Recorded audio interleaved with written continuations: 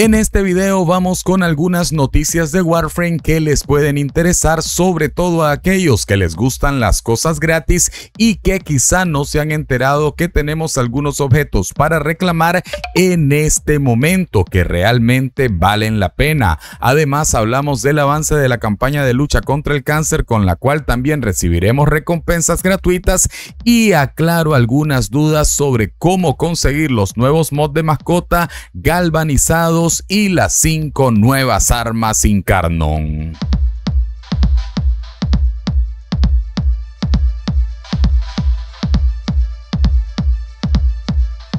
Como les he dicho en la intro, tenemos nuevos objetos gratis o algunos objetos gratis en este caso que se pueden reclamar ahora mismo. En este caso hablo del arma cuerpo a cuerpo Galatine, la Sugatra Uru, que es una decoración o un elemento decorativo para el arma melee, el mod de guardia ritmo regio y un potenciador de afinidad de tres días. ¿Qué hay que hacer para reclamar todo esto? Simplemente vamos a la tienda del juego, pulsamos en canjear código y escribimos Kumei FHF8U, así como lo pueden ver en pantalla. Le damos en OK y todo lo que les he dicho estará disponible desde nuestro inventario. Recuerden que si ya tienen la Galatine no importa porque simplemente la pueden eliminar y con esto tendrán una ranura gratis para utilizarla en el arma que ustedes quieran. En cuanto a la campaña de lucha contra el cáncer, he de decirles que a la hora que estoy subiendo este video andaremos más o menos cerca de llegar a los 40 mil dólares de recaudación. Eso significa que actualmente ya tenemos ganadas las siguientes recompensas. En este caso, el glifo Conquera 6 y glifo Conquera 7. Para obtenerlo será cosa de ir también a la tienda del juego y escribir el código Conquera 2024 todo junto. Le damos en OK y listo, ya los podremos equipar desde las opciones perfil y glifo.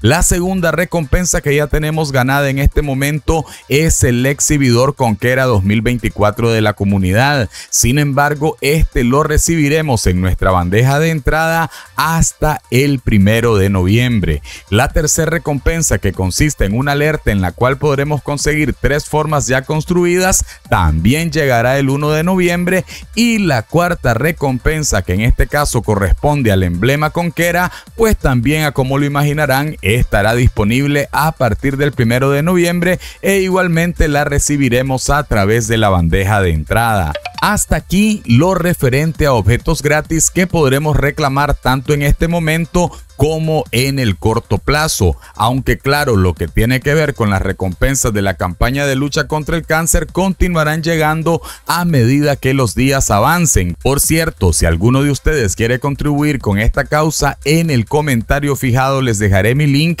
desde donde pueden colaborar. La cantidad no importa, así que desde ya les agradezco su aporte, por supuesto a los que quieran y puedan. Lo siguiente sería aclarar algunas dudas que he visto desde el día de ayer que ha llegado la actualización.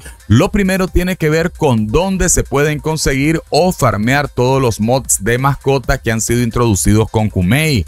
Aquí hay que decir que dependerá del mod que busquemos. En este caso, si lo que queremos son directamente aquellos mods que son propios de los Kubros, Cabat, Predacito o Vulpafila, estos se obtienen directamente de la crianza. Esto significa que si ya tenían estos tipos de mascotas, pues deberían tener sus mods en el inventario.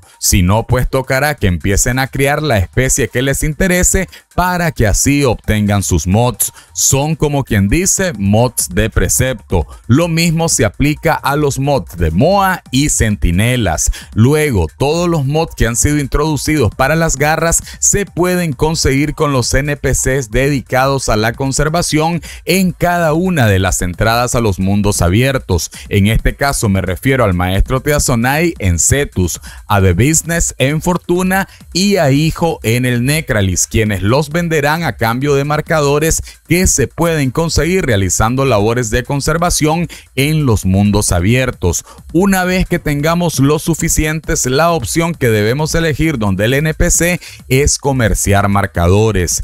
En cuanto a los tres nuevos mods galvanizados para arma melee, aquí hablo de acero galvanizado, reflejo galvanizado y elementalista galvanizado es bastante sencillito, ya que únicamente tendremos que ir a cualquier repetidor y buscar a los árbitros de Exis quienes venden cada uno de estos mods por 20 esencias Vitus. Y finalmente, con respecto a las 5 nuevas armas Incarnon, por ahora no las busquen porque estarán disponibles en el juego a partir de la siguiente rotación del circuito. Esto significa que las podremos comenzar a farmear este próximo domingo 6 de octubre a la hora del cambio. En este caso deben saber que tanto Ladera como las Ibaris, Cestra, Sicarus y Okina formarán parte de la rotación número 8 del circuito, así que piensen bien cuáles serán las dos armas que seleccionarán en esta primera rotación, ya que luego las tendremos disponibles